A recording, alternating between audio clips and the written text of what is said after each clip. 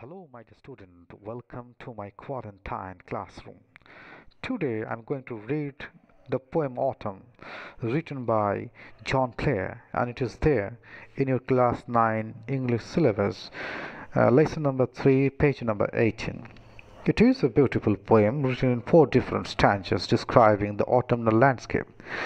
But, dear student, today I am going to read only the first two stanzas of the poem and try to understand its meaning. So, dear student, let us read out the poem loudly first. I love the fitful gusts that shakes the casement all the day, and from the mossy elm tree takes the faded leaf away, twirling it by the window pane with thousand others down the lane. I love to see the shaking twig dance till the shut up eve, the sparrow on the cottage roof, whose charm would make me believe that Spring was just now floating by in summer's lap with flowers to lie. So, dear student, it was the first two stanzas of the poem. Now, look at the first line of the poem, and it is I love the fitful gust. Dear student, you can easily understand that the pronoun I is here actually the poet himself. The poem is written in first person. Here in the poem, the poet expresses love for the fitful gusts, which is very common during the season of autumn. Now, what is fitful gust? The word fitful means powerful, sudden. It is unsteady, not continuous. And gusts mean storm or wind. You may call it autumnal storm. In Bengali, we sometimes call it domka batas or jhoro batas.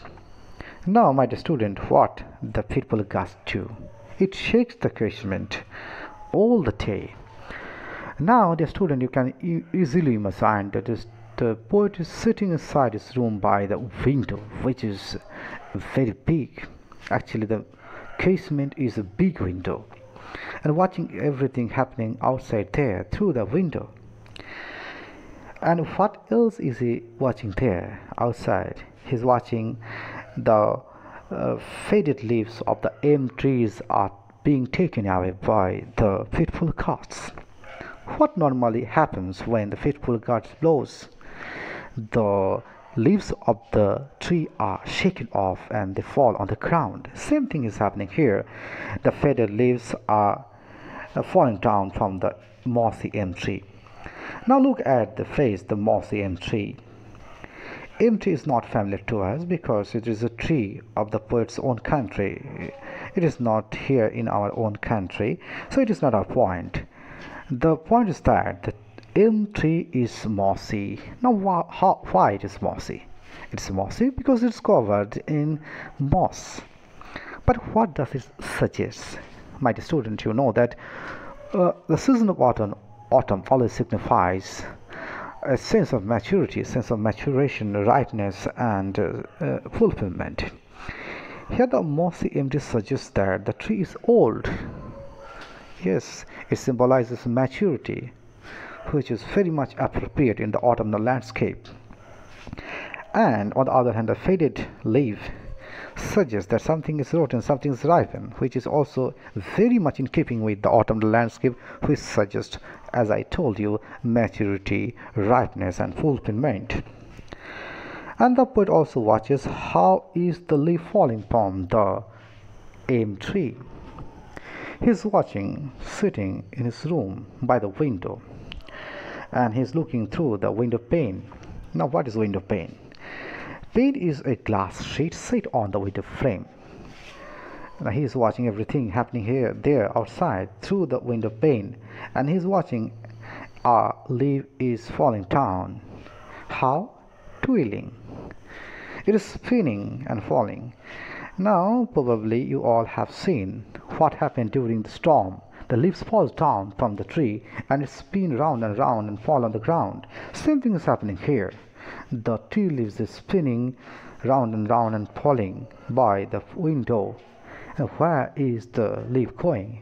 He's going in the lane, down the lane where the thousands other leaves are already there on the road or in the lane. So it was the first stanza of the poem. Now look at the second stanza. And the first line of the second stanza is I love to see the shaking twig, my dear student.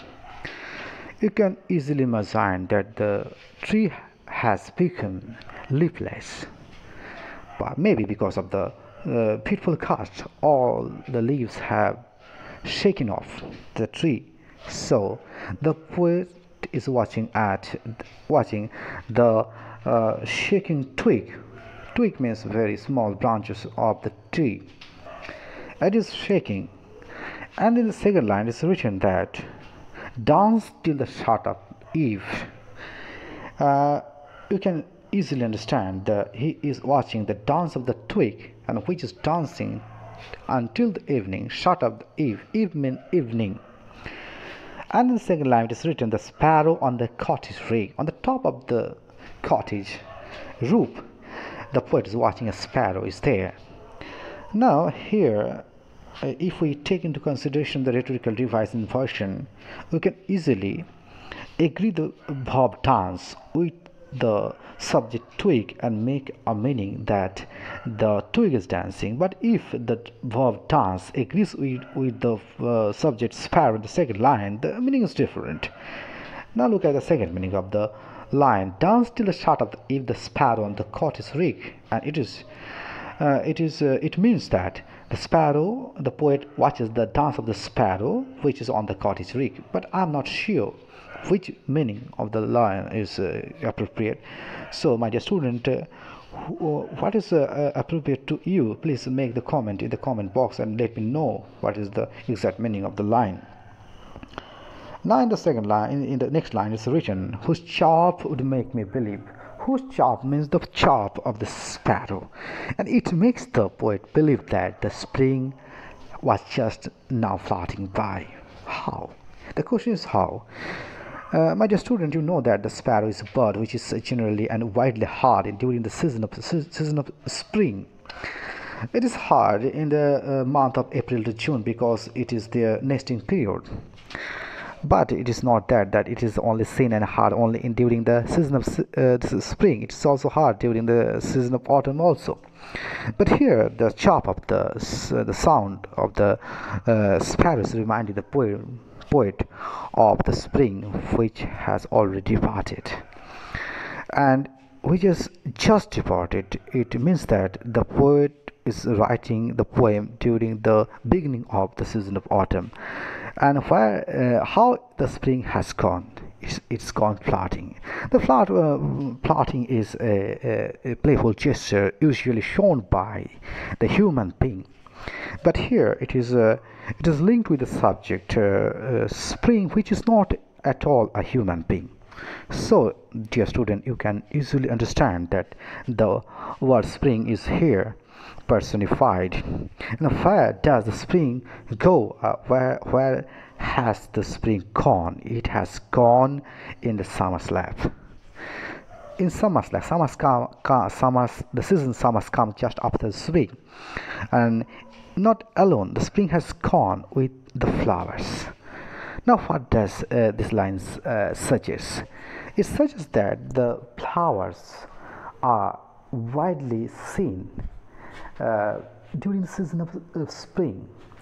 But with the advent of summer the uh, flowers begins to begins to dry up and uh, during the beginning of autumn uh, we, we, uh, we, we hardly see any flower there in the nature.